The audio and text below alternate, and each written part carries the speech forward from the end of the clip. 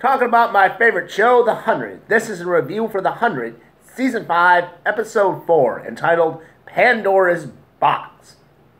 So, another good episode tonight. Very simple. Uh, just break down the plot. So, in the bunker, uh, Kane, he is uh, facing trial by combat with uh, three other grounders for an offense. Uh, apparently, some medicine was stolen, and they think Kane did it, even though it was actually Abby. And uh, something that surprised me is I thought that, all right, so they set up the fight scene. I thought they were going to do a flashback. We would see Abby stealing the medicine and why Kane took the rap for her. Uh, that was not the case. They just went right into the fight, and uh, Kane wins it. Uh, two of the grounders get killed off by one by another grounder, then it's just Kane and that guy. Kane kills that guy. And you think, okay, well, Kane's out of hot water, but Octavia decides, you know what, that's not good enough. You got to fight again tomorrow. Which uh, sets up this dilemma where it's like, okay, Kane, are you going to tell the truth? Because Abby wants him to do it. Octavia pretty much puts it together that uh, Kane was not the one who took the medicine, but Kane decides he's going to sacrifice himself for the better good and not even fight. I, I think we've I've seen this before in uh, TV where they have some sort of society where dueling and fights to the death are oh so important, and someone decides they're going to change society by getting into the fight but not fighting, and somehow this always works.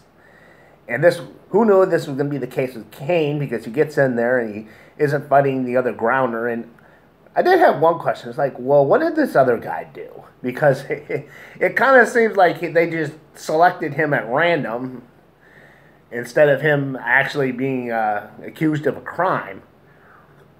Once again, proving that Octavia's um, bred in circus attitude towards society really wasn't working that much because the grounders love to fight, so they just keep committing uh, offenses against Wonkru just so they can get in that pit. But like I said, they don't uh, talk about that. Kane just stands there, takes a few cuts. This pisses Octavia. She stops the fight to get down there and tell him, Kane, you the fighter, you're gonna die. Kane's like, well, that's what it's gotta we gotta do to change society. Blah blah blah blah. This becomes irrelevant as the uh, ceiling gives way, breaking apart, and uh, giant hole comes comes out of it Turns out it's Bellamy and Clarke, along with the prisoners. They've uh, breaking the bunker open to help save everyone. So we'll uh, jump back with that story. Uh, basically, Bellamy makes a deal with the prisoners, saying, "Hey, we won't kill all your people on the ship if you help break open this bunker and save our other people." The prisoners go, uh, crew goes along with this, even though um, Charmaine says to uh, Shaw hey, stay on that goddamn computer and see if you can override what they're doing up there on our ship and free our people. So uh, they actually try that, even though Raven is blocking them. They can't uh, open the pods. well, what they can do is open the uh, airlocks and sort of flush Murphy and Raven out. And when Murphy and Raven realize this is happening, they decide to open the pod. Excuse me. So Charmaine decides not to kill them. Of course, this means that all the prisoners are now awake and that uh, Raven and Murphy are stuck up there on the ship with them. And then Charmaine, after you know they freed everyone from the bunker, they decide that they want to take Abby, the doctor, for some reason. Uh, they didn't specify, you know, it's the mystery. What exactly do they need the doctor for? I mean, they need a doctor to keep them alive, but it seems like there's more to it than that. It's just not well, you know, we always need a doctor. We need a doctor really, really bad. So that that that could be interesting. What is this cure? What is what is Charmaine and and uh, Paxton? What do they need uh, Abby for? And uh, Abby and Kane go along with uh, Charmaine because Charmaine and her guys they pull out their big guns, threaten everyone.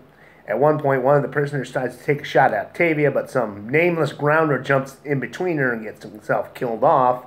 And we see their guns are pretty effective. They just turns this poor bastard inside out.